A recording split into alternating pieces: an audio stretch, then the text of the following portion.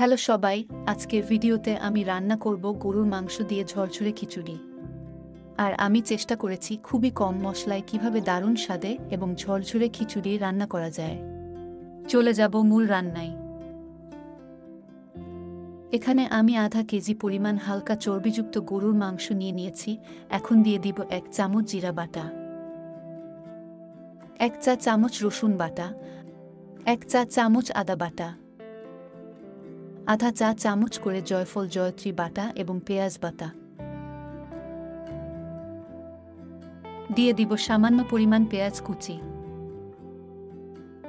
এক চা, চামচ পরিমাণ লবণ। এক চা, চামচ গুঁড়া হলুদ। এক চা, চামচ গুঁড়া মরিচ।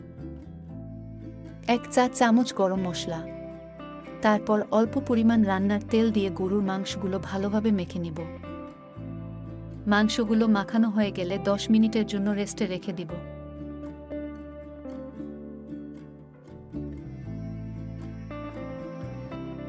খিচুড়ি রান্না করার জন্য চারশো গ্রাম পরিমাণ পোলাও চাল নিয়ে নিয়েছি, তারপর দিয়ে দিচ্ছি এক কাপ পরিমাণ মসুর ডাল। এক কাপ পরিমাণ মুগ ডাল, আর মুগ ডালটাকে একটি পেনে গিয়ে চুলার আঁচ মাঝারি রেখে দুই তিন মিনিট সময় ধরে ভেজে নেব।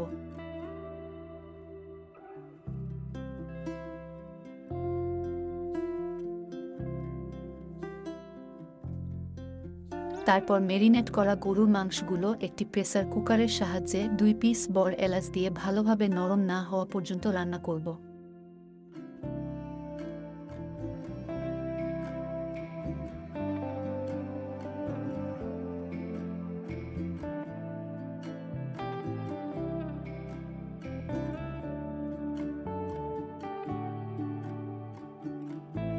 তারপর গরুর মাংসগুলো রান্না হয়ে গেলে অন্য একটি কড়াইয়ে রান্নার তেল দিয়ে ভালোভাবে গরম করে নিয়ে দিয়ে দিব পেঁয়াজ কুচি, এক পিস তেজপাতা, তিন পিস এলাচ এবং তিন টুকরা দারচিনি। তারপর পেঁয়াজগুলো ভেজে বাদামি কালার করে নিব। পেঁয়াজগুলো ভাজা হয়ে গেলে দিয়ে দিচ্ছি পোলাও, চাল এবং মসুর ডাল। আর আমি চালগুলো আগে থেকেই ধুয়ে পানি ঝরিয়ে রেখেছি। এখন আমি চুলার আঁচ কমিয়ে পোলাও চালগুলো দুই থেকে তিন মিনিট ভেজে নিব। তারপর দিয়ে দিব আধা চা চামচ হলুদ গুঁড়া আধা চা চামচ গুঁড়া মরিচ, এক চা চামচ লবণ। তারপর মশলাগুলো ভালোভাবে মেখে দিয়ে দিব গরম করে রাখা আধা লিটার পানি। পানি দেওয়া হয়ে গেলে হালকা নাড়িয়ে নিয়ে ঢেকে রান্না করব পাঁচ মিনিটের মতো।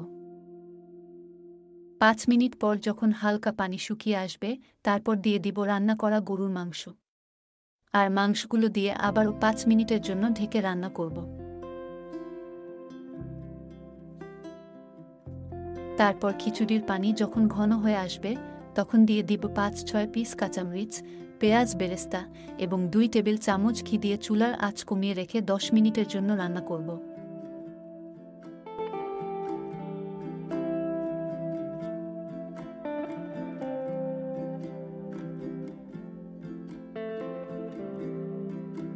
আশা করি আজকে আমার খিচুড়ি রান্নার রেসিপিটি আপনাদের কাছে ভালো লেগেছে।